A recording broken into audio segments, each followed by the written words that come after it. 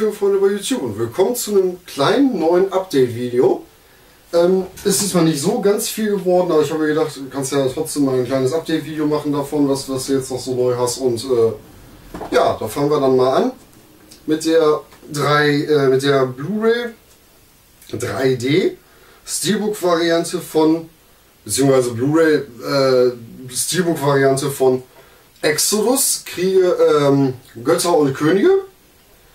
Ähm, ja, ist eigentlich nur ähm, die zehn Gebote, sag ich jetzt mal, äh, neu erzählt. Ähm, Finde ich jetzt aber gar nicht mal so schlecht gemacht von Ridley Scott. Ähm, freigegeben auf 12.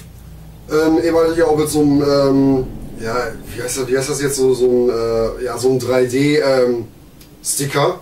eben halt auch, nicht so 3D-Sticker, aber so ein 3D-Bild eben halt vorne drauf, was, was man auch, was man ein bisschen magnetisch ist und man auch ablösen kann. Äh, drin sind drei Blu-rays, einmal die Blu-ray 3D mit dem Film, die Blu-ray 2D mit dem Film und ein bisschen Extras und eine Bonus-Blu-ray, äh, also auch mit noch mehr äh, Bonusmaterial. Ähm, war eben halt vorne auch, äh, auch mit Aufkleber drauf präsentiert mit als 3-Disc Collectors Edition, aber eben halt, ähm, ja, es gibt die auch, es gibt glaube ich dieses 3-Disc auch als Amaray, äh, ich glaube im Schuber und dann mit ähm, Wendecover, aber äh, so als Steelbook habe ich jetzt 6 Euro weniger bezahlt, wie sie eigentlich kostet und äh, kann ich absolut nicht meckern. Dann habe ich noch im Steelbook, aber im normalen 2D Steelbook. Das ist ähm, Jupiter Ascending. Mal gucken, dass man es so ein bisschen mal hinkriegt, dass man es auch sieht. So, Jupiter Ascending, freigegeben ab 12. Ähm, an sich den Film finde ich ja gar nicht mal so schlecht, muss ich jetzt ehrlich sagen. Finde ich jetzt wirklich gar nicht mal so schlecht. Äh, aber eben halt, wer, wer so richtig, ja ich sag mal, richtig Matrix verwöhnt ist, ähm, ja, also an Matrix kommt definitiv kein anderer Film von den Wachowskis mehr ran. Weil das ist einfach so, äh, ja, die waren einfach so genial, die Filme, die Filme, beziehungsweise der allererste Matrix-Film, ähm, dass der einfach nicht mehr zu toppen ist, definitiv nicht mehr. Aber wie gesagt, Jupiter Scanning, also man kann ihn sich auf jeden Fall angucken, er ist auch gut gemacht. Aber es ist jetzt nicht so ein weltbewegender Film, wo ich sagen müsste, yo, also must have auf jeden Fall, aber naja. Dann habe ich auf DVD neu Late Faces oder Late Fa Phases, ich weiß nicht, wie man es ausspricht, aber ist egal. Ähm, freigegeben auf 16. Äh, habe ich nie was drüber gehört, nie. Dann habe ich irgendwann bei OFTV, war da groß irgendwie, haben die die Stadtseite geändert gehabt etc. Und da habe ich dann den Trailer davon gesehen. Ich habe gedacht, jo, musst du doch mal angucken.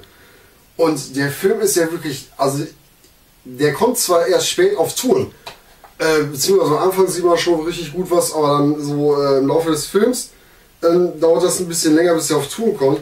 Aber so gut gemacht, wo ich wirklich denke, so von wegen für so einen, ich sag jetzt mal, Low-Budget-Film, Super geil, Late Phases. Auch der Soundtrack, den Soundtrack finde ich mega geil. So, dann habe ich mir noch geholt Legacy mit Idris Elba. Ähm, freigegeben auf 16. Finde ich, also, was hier schon raussteht mit, ähm, mit schauspielerischer Leistung von, ähm, von äh, Idris Elba, also muss ich wirklich sagen, hat er wirklich, also schauspielerisch hat er wirklich super was abgeliefert hier. Und äh, auch von der Thematik her und sowas finde ich, find ich wirklich klasse, den Film, ehrlich. So, dann habe ich noch auf DVD Predestination mit Ethan Hawke, auf 16. Ähm, den Film finde ich auch richtig klasse. Also auch, auch die, ähm, wirklich so ein, so ein Zeitreise-Thriller. Richtig gut gemacht. Und ähm, äh, recht ja auch, also hier jetzt auf den Wendecover nicht, aber wenn man das jetzt wieder umkrempeln äh, würde mit dem FSK-Logo vorne, dann steht auch immer drauf vorne ähm, Prädikat besonders wertvoll. Und äh, finde ich wirklich, also Hut ab, muss ich wirklich sagen, klasse Film.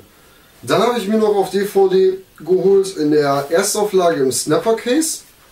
Dave, freigegeben auf 6. Finde ich eine super klasse Komödie, allein auch Kevin Klein, super geil. Und ähm, also wirklich klasse Komödie. Und wie gesagt, im Snapper Case, man kann es jetzt, äh, die, ich glaube, da habe ich jetzt 10 Euro für bezahlt, aber zahlen wir im Internet wesentlich mehr für. Für die Erstauflage. So, und dann habe ich noch die beiden Teile.